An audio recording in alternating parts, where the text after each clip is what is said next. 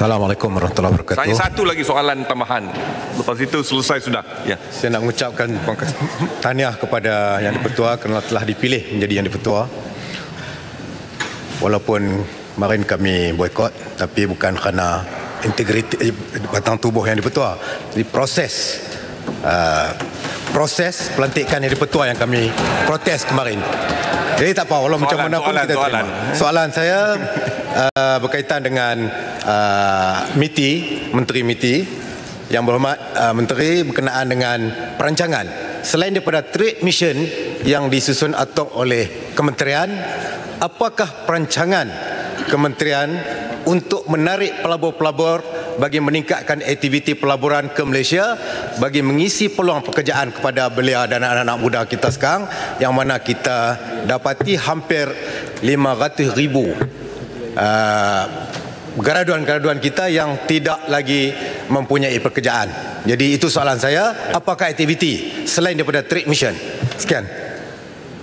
Terima kasih uh, ahli parlimen.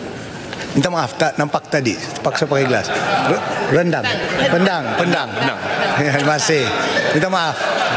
Kau tahu lah ini mau biasa sudah daripada uh, this this corner. Uh, terima kasih tuan yang dipertua. Maida dalam usahanya uh, untuk menarik pelabur-pelabur ke Persekutuan Malaysia uh, telah memberikan bang, telah apa ini mensejulkan banyak uh, usaha untuk memberi peluang pekerjaan kepada uh, rakyat Malaysia. Saya tahu maksud kamu uh, maksud ahli parlimen tu.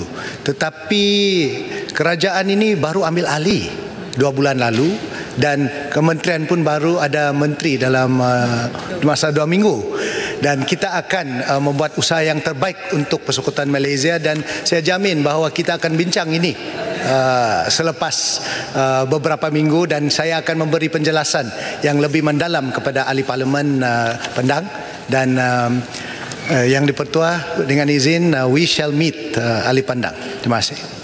Jadi dengan itu selesai